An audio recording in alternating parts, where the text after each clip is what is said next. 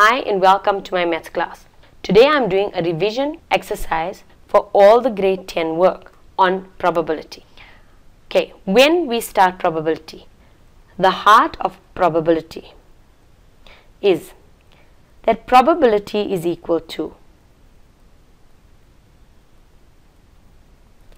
the n of the event over the n of the sample space. So, the one that is favorable over all the elements. So, the one that is favorable over all the choices. But we also have a few rules that are important. Now, you got the inclusive rule. The inclusive rule states the P of A or B is equal to the P of A plus the P of B minus the P of A and B. Now OR is basically everything that's in the events of A and B. A and B, so the AND means only where they are overlapping. Now, what happens when this formula starts doing certain things?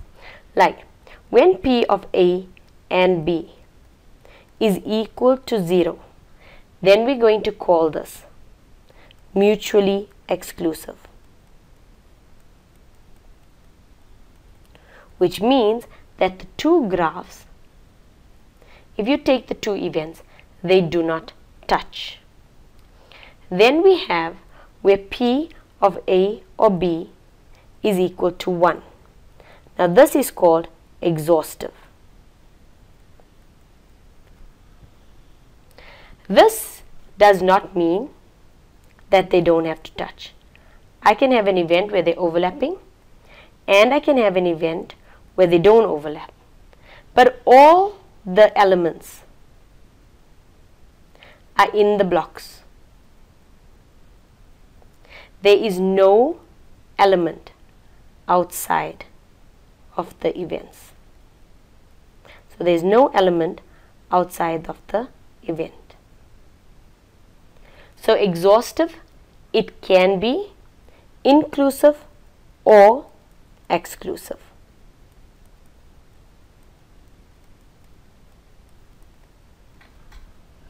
Then you have an event where we have P of A plus P of B is equal to 1.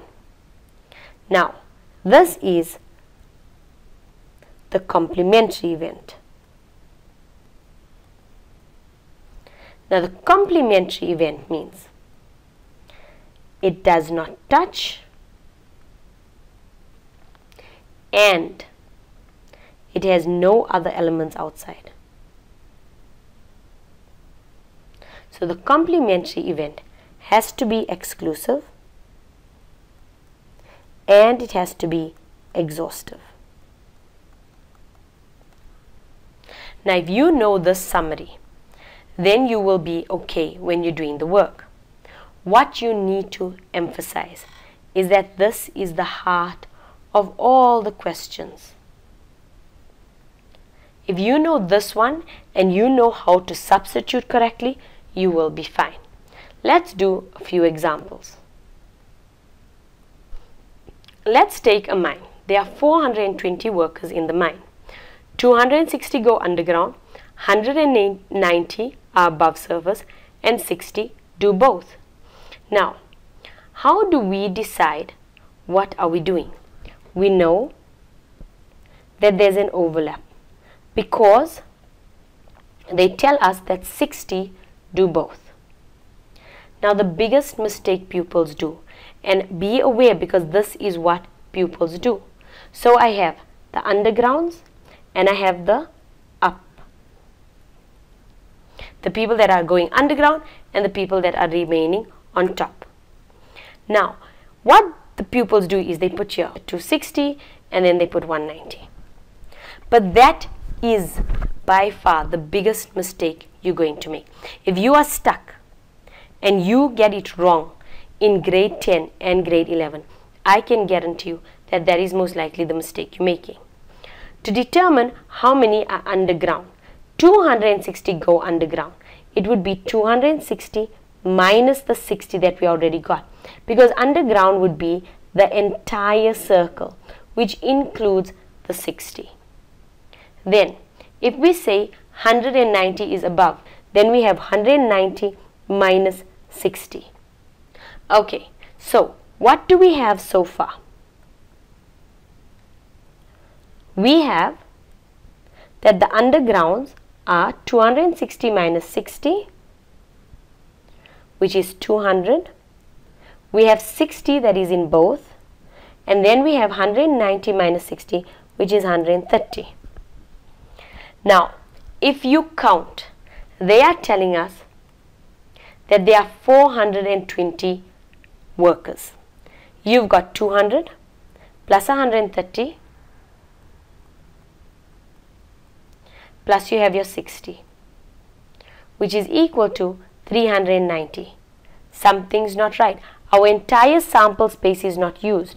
So how many are not going underground, neither are they, they above the ground. Maybe they're in the office or maybe they just, you know, doing something else. Maybe they're not even on site. So we know there's 420. You've only used up 390. So the balance is 30.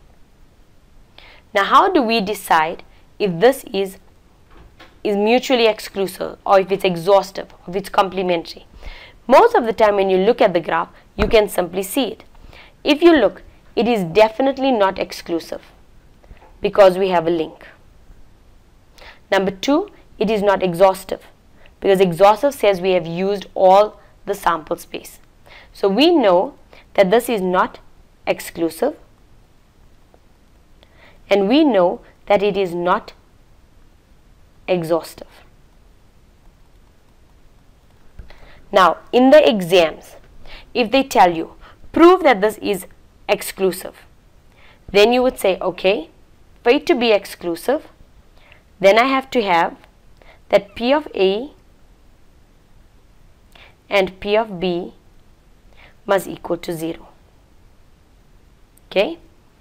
Now, I've got P of A or B is equal to P of A plus P of B minus P of A and B.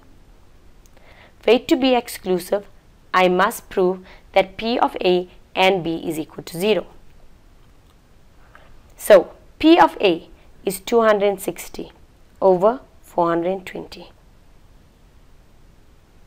P of B is 190 over 420 minus x. Remember we still want to prove that it's either equal to 0 or it's not. Now what do we have for P of A or B? What do we have for the entire thing? Now if I get my x alone, I'm going to have 260 plus 190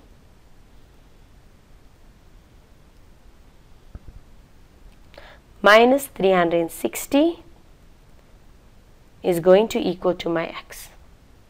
This here gives me that x is equal to 60 over 420. That tells me these events are not exclusive. Now when you're doing the exam, in the exam, you may not make conclusions. So you telling me, okay, it's not exclusive. Do not do things like saying, oh, so now it's inclusive. Don't do things like that. When they tell you, show that it's exhaustive or not exhaustive, you show and you say, okay, finished. Right, let's do another one. They are telling us that P of A is equal to 0, comma 5, P of B is equal to 0, comma 25, and P of A or B is equal to 0, comma 625. Now, if I want P of A and B, I know the formula says P of A or B is equal to P of A plus P of B minus P of A and B. So I have 0 comma 5 plus 0 comma 25 minus my unknown is equal to 0 comma 625. My x is going to equal to 0 comma 5 plus 0 comma 25 minus 0 comma 625. which means my x is equal to 0 comma 125